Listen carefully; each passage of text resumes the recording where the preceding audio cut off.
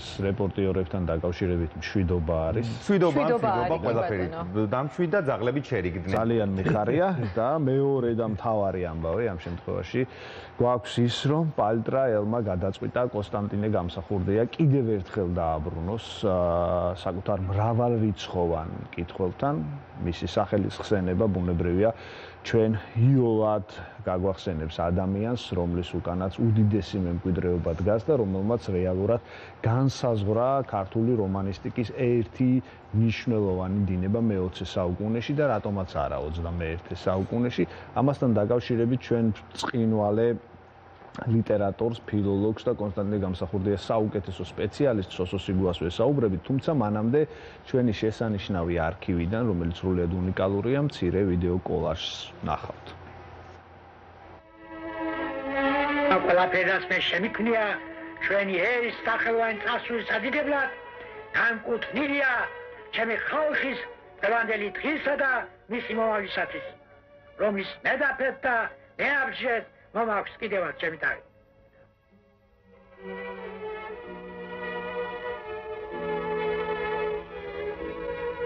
ათასზე მეტი ამეა ზივარ, ზივა და გითხრობ განთიადიდან განთიადამ. თამაშითა და ბძოლით წერ, ჩემი გმირების თამაშითა და ბძოლის ამბავს. და ღამეები მიხრიან, როგორც ნადი დაბჭედით მედაურები. სავსებით მარტო არ ამწუჩიას. თვარე, სამთვარიო შასულა უკვე და მესმის თუ როგორ უღუნებს ჩემი ბინის ელექტრომ რიცხველი ეს ინდუსტრიის ცისფერი მტრედი. მესმის თუ როგორ სუნთქავენ პაპარაკობენ და მოძრაობენ ჩემი ეგმირები ჩემში და განვიცდი უძიმეს ორსულობა შემოქმედებისას.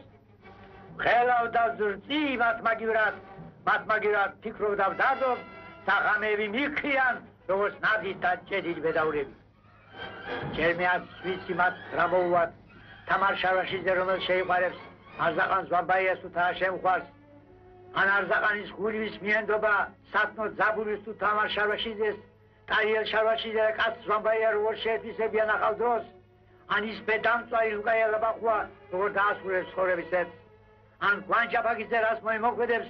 კვანჯაბაგიძე ქრისტეს ფეხის პნედელი ზივარ ამ სიკონებს წერ და ხანები მიქრიან როგორც ნადი თალჭედი ბედაურები აი მომეკანსა ეთკინა წელი ზივარ და მაინც პერ ჩემი სული ჩემს ხელს უფრო ძლიერი ამოშტა შევდგები ჩემს ხელს დაწერს მათვალიერებ გაოცებული შევსკერი ბნელი საუკუნეების საშოში უთარიღოთ წარმოშობილ ფანტასტიკურ ჰიეროგლიფებს შევსკერი ქართულასოებს დაგრემ ხონია ემათ შორის უნდა მოიკითხო მეთქი ჩემი გმირების უცნაური ბედი მოგლეთ აი ამ მართლაც ემოციური კადრების შემდეგ მივესალმები უკვე ჩვენ სტუმარს. ვადნუსოსო უღრმესი მადლობა პირველ რიგში. მობრძანებისთვის ჩვენ საუბრობ ძალიან ამაღელვებელ ამბავზე. კონსტანტინე გამსახურდიას ხელახალი გამოცემა შვიდტომეული სახით რომელსაც მოტაციების კი ბატონო გულისხმობ ამ შემთხვევაში სერიის ანონს და ამ კონკრეტულ შემთხვევაში პირველი ტომის თვარის მოტაციების გამოცემას რომელიც არის საეტაპო რომანი მე-20 საუკუნისა და რომელიც ერთგვარად არც მთლად ისე არის. მე ვიტყოდი დაფასებული როგორადაც აი ამ მართლა ეპიკურ ტექსტს ეკადრება. მისი გამოცემა საბჭოთა პერიოდში ყველას მოიხსენება ვინც კონსტანტინე გამსახურდიას შემოქმედებას იცნობს არ იყო სრული სახით წარმოდგენილი ის მე-20 საუკუნის მიწურულს უკვე დამოუკიდებლობის აა გამოცხადების შემდეგ მათ შორის თქვენი მეცადინეობითაც გამოვიდა სრული ფორმით და საინტერესო არის ალბათ ახალ თაობას კიდევ ერთხელ შევახსენო თუ მათ არიციან კონსტანტინე გამსახურდიას და კონკრეტულად აი ამ ტექსტის მნიშვნელობა. დიახ. ცით გამოცემა ყოველთვის პრობლემური იყო მთვარის მოტაციების გამოცემა. ეს რომანი პირველად დაიბეჭდა მნათობის ფურცლებზე მე 1936 წელს კი გამოიცა, ну, როგორც ავტორს უნდოდა, მაგრამ დაიწყო 1937-38 წლები, ახლა არზაყან ზვამბაია, რომელიც არის კომუნისტი, კომკავშირელი, ჩეკისტი, კლავს მამას და წარმოიდგინეთ ახლა რანაირი სიტუაცია შეიქმნა. სამაგალითო უნდა იყოს კომუნისტი არა? სამაგალითო როგორ იქნება მამის კვლელი? და მე კიდევ არის სხვა დეტალები, რომელიც იდეოლოგიურად მიუღებელი იყო. ამიტომ თვარის მოტაცება უცებ ჭრდილში აღმოჩნდა. ერთხანს დიდი მოწონებით შეხვდნენ აი ლავრენტი ბერია ძალიან უჭერდა მხარს. წერალთა კავშირში შედგა მართლაც გრანდიოზული განხილვა. ერთი კვირა გრძელდებოდა რომანის განხილვა. თავმჯდომარე იყო მიხეილ ჯავახიშვილი. გამოსულები იყვნენ galaktion tabizis გარდა ყველა ვინც იყო იმ დროს გამოჩენილი მწერალი. თელი სტენოგრამა დაიბეჭდა მთლიანი ლიტერატურულ საქართველოში განხილვა იწყებოდა საღამოს 7-ზე და 8-ზე და დილის 3-ზე და 4-ზე მთავრდებოდა და ცხენოსანი პოლიცია იცავდა მწერალთა კავშირს რომ ხალხის მოზღოება იმდენი იყო რომ ვერ უშვებდნენ და გარედან ელოდნენ რა იქნებოდა რა მოხდებოდა. ეს იყო მართლა პრინციპული განხილვა იმიტომ რომ ამ რომანს შეღავათი არ ჭირდება აქ თუ გამოდიოდნენ სიმონ ჩიკოვანი, ტიციან დაბიძე, თვითონ მიხეილ ჯავახიშვილი ან სხვები და იძლეოდნენ შენიშვნას, ის შენიშვნა მართლაც რაღაცით საღურადღებოა და რაღაც მნიშვნელობა აქვს და თვითონ კონსტანტინეს ანგარიშს უწევდა და ზოგზე ეთანხმებოდა კიდეც რომ ამას მივიღებ, გავასწორებ. ну ახლა მე კონსტანტინე საერთოდ იშვიათად უბრუნდებოდა თავის რომანებს და არც გაუსწორებია, მაგრამ უცებ რო შეიცვალა სიტუაცია დიდოსტატის მარჯვენა წამოსიეს წინა პლანზე და მთვარის მოტაცებას ბესოჟღენდი უწოდებდა ყველაზე სუსტი რომანია ამ დროს თვითონ იყო მოხსენებელი და თვითონ აყავდა цаში და რაღაც მაგრამ ეს პოზიცია იდეოლოგიურებოდა კონიუნქტურის მიხედვით. ხო იდეოლოგიური სიტუაცია იყო მაგრამ აი 40-იან წლებში კონსტანტინეს 7 დომეული უნდა გამოცემულიყო. და კონსტანტინეს ყველა გამოცემა იხსნება მთვარის მოტაცებით. პირველი ტომი ყველგან არის 10 ტომეული, 7 ტომეული რუსული გამოცემა, ყველგან მთვარის მოტაცება. აი საინტერესო ისაა, რომ თბილისში გამოსცეს მაშინვე მთვარის მოტაცება რუსულ ენაზე და მოსკოვს არ გამოუწია საერთოდ. იმიტომ რომ ისინი ახლა სხვა კუთხით უყურებდნენ ის ნაციონალური მათ არ აინტერესებდათ ძინა პლანზე იდეოლოგიური საკითხები იყო და აი როცა 46 წელს უნდა გამოცემულიყო, მაშინ ამოიღო მთავლიტმა მამის კვლელობის სევნა, ამოიღო კიდევ სხვა დეტალები არის და ჩაამატებინეს ლავრენტი ბერიას პორტრეტი. ბოლოს და ნუ ახლა თუ არ დათანხმდებოდა, არ გამოიცემოდა. და მე ახლა ისევ რო შეიცვალა 50-იან წლებში სიტუაცია, ლავრენტი ბერია რა თქმა უნდა ამოიღეს მაგრამ ის მამის კლუბის სცენაც ასევე ამოღებული დარჩა და მე მე როცა ციგნი გამოვეცი მონოგრაფია კონსტანტინე გამსახურდიაზე ძალიან ვეცადე რომ აღდგენილიყო ეს თვარის მოტაცების ტექსტი. აი მხოლოდ 1990 წელს იქნა აღდგენილი როცა რედაქტორი იყო ზვიადი ამ გამოცემის და რეალურად რეალურად გამოდის ის რაც აქამდეც ვიცოდით რომ რომანებს როგორც ადამიანებს აქვს საკუთარი ბიოგრაფია დიახ, ნამდვილად. და ეს ბიოგრაფია გულისხმობს დაბადებას, შემდეგ ცხოვრებას და ამ ცხოვრებაში მათ შორის პატიმრობასაც, მათ შორის წამებასაც კი, იმიტომ რომ ჩვენ ვიცით ციგნებია, თუნდაც ეს კონკრეტული გამოცემა, რომელიდანაც ბევრი რამ ამოუჭრიათ, ბევრი რამ დაუმატებია. ეს ტექსტი და ახლა შეფასება ცხადია. ტექსტი ხომ არსებობს ამგვარი შეცვლილი, ამგვარი სხვადასხვა სახის, მაგრამ შეფასება სხვადასხვა იყო. რა თქმა უნდა, კონსტანტინე გამსახურდია იყო ავტორი, რომლის მიმართ ალბათ ყველაზე დიდი კრიტიკა არსებობდა პერიოდების თავის სიცოცხლეშივე, აი სიცოცხლეში, დასაწყისშივე შემდგომ უკვე, როდესაც ის ცოცხალ კლასიკოსად იქნა აღიარებული და მერეც უკვე მე-20 საუკუნეში იყო მცდელობა რევიზიის გარკვეულწილად, თითქოს ის არ უნდა ყოფილიყო მაინდა-მაინც წინა პლანზე ქართულ პროზაიკოსთა შორის. იცით, აი ბატონო გიორგი, ყველა ციგნმა და ყველა ავტორმა უნდა გაუძლოს ეპოქის რევიზიას, იმიტომ რომ მოდის ახალი თაობა, რომელიც ახლებურად კითხულობს ყველა კლასიკას, კლასიკურ ნაწარმოებებს. და ის ციგნი, რომელიც ვერ გაუძლებს თაობათა გემოვნების ცვალებადობას, ესე იგი ის არ ყოფილა მნიშვნელოვანი წიგნი.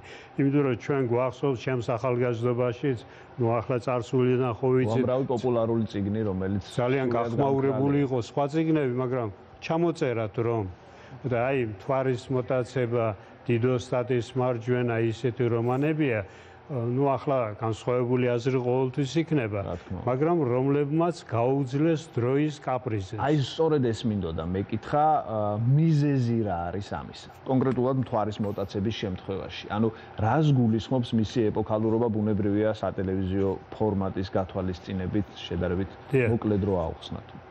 ერთი რომ ეს არის წინვალეთ დაწერილი რომანი, როგორც რომანი. მაგრამ თვარის მოტაცება მხოლოდ რომანი და რომანული ისტორიები არ არის. ეს არის იმ დროინდელი ეპოქის ასახვა 30-იანი წლებისა, რაც შეიძლებოდა მაქსიმალური სიმართლით. წერლობაში მთავარია მხატვრული სიმართლე და არა დოკუმენტური და ისტორიული. ასე შეიძლება პუბლიცისტმას ბევრი სიმართლე თქვას, მაგრამ ის სიმართლე ლიტერატურას ვერაფერს ვერ შეცდენს. აი ეს მხატვრული სიმართლე და ეპოქის მიერი სიმართლე უნდა შეერწყას ერთმანეთს, რომ შენ მკითხველმა მიგიღოს. აი 30-იან წლებშიც მაშინვე რომ იბეჭდებოდა რომანი მაშინვე ის პოპულარული იყო პოპულარული იყო და კონსტანტინე გამსახურდიას ჰქონდა წესად ასეთი რამ რომანს დამთავრებამდე ბეჭდავდა მნათობში როგორც წერდა ისე ბეჭდავდა. ორი წელი იბეჭდებოდა მნათობის ფურცლებზე. აი ეხლა რომ დაწერა ერთი თვე ერთი მონაკვეთი ის მართალს ამბობს, სწორედ რომ არც ვიცი ჩემი გმირები როგორ მოიქცევიანო. ესე იგი დამთავრებული კი არ არის. შეიძლება დობაც უნდა ქონოდა, რომ დაუმთავრებელი რომანის ბეჭდვა თან კომუნისტების დროს დაიწყოს ნათობმა. მაგრამ წერალს ეს მეორებს ხრო სტიმულს აძლევდა, რომ შენ პასუხისგებლობა გაქვს, შენ გიყურებს კითხველიც, კოლეგებიც, ხელისუფლებას და შენ უნდა შეძლო ამ დობის გამართლება. ამიტომ ამ პროცესში აი ეს წერდა და იბეჭდებოდა. საინტერესო არის ანუ რახან ეს უცნაური მე ვიტყოდი ექსპერიმენტი ახსენეთ, როდესაც ავტორი წერს და თან აყურადებს გამოხმაურებას გარკვეულწილად. ახდენდა თუ არა გავლენას განსაკუთრებით ამ შემთხვევაში ბუნებრივია ცენზურას არ გულისხმობ მისი ავი ხელის შესახებ ყველამ ვიცით, მკითხველის გამოხმაურება თუნდაც ტექსტის მიმართულებას. კოსანდე გამოხმაურება, მკითხველების გამოხმაურება. ამ შემთხვევაში სპეციალისტებსაც გულისხმობ. ახლა კონსტანტინე გამსახურდიას ჰქონდა პირველ რიგში ინტერესი ნამდვილი მკითხველი ვინც არის ვინც განიცდის ქართულ სინამდვილეს და არა იდეოლოგიურ სინამდვილეს იდეოლოგიურად ახლა გასაგებია რას მოითხოვდნენ რა უნდა გაიგეთებინათ ამაზე თავიდანვე თითქოს არაპირდაპირ ხელისუფლებასთან იყო შეთანხმებულივით, რომ ეს უნდა გამოსულიყო მართალი ციგნი, რაც შეიძლებოდა მაქსიმალურად კოლექტივიზაციის პროცესის შესახებ. დიახ. მე აქ არის ასახული აფხაზური გარემო, მთავარი პერსონაჟები არიან. ჩვენ ვთვლით, რომ თარაშემხვარი ქართველია, მაგრამ თარაშემხვარი აფხაზიარია რა. ისე არის გადახლართული მეგრულ, ქართულ, აფხაზური გარემო, რომ ერთლიანობად არის წარმოსახული. რაც უნდა იყოს კიდეც. და ასე იყო, ეს იყო ეროვნული მთლიანობის იდეის გატარება მხატვრულ პრიზმაში. აფხაზური გარემო ჩვენი იზოლირებულად არ გვაქვს წარმოსახული. ის აფხაზი ითვლება სანიმუშოდ, ისევე ითვლება როგორც ხევსური, როგორც კახელი, როგორც მეგრელი. თანამედროვე ენაზე რო ვთქვა, საქართველოს მოქალაქედ. დიახ, ხო. თარაშემხვარიც, აი რომ ამბობს, როცა ნახავს, რომ დედა გარდაცვლილი დახტა, ქართლის ცხოვრება გადაშლია და დედა სათვალე ჩარჩენია თამარის სიკვდილის ეპოქაზე. ხო და თარაში ამბობს მე არ ზღირს ქართლის ცხოვრების საკითხო თუ როგორ რა მოხდა და კუცმას და დაიშალა შემოსევები და ეს არის სწორედ პატრიოტული განცდა საქართველოსი. ახლა დღევანდელი აფხაზი ხო არ იტყვის ამას, პირიქით იტყვის უფრო ადრე უნდა ყოფილიყო საქართველოს დაშლა.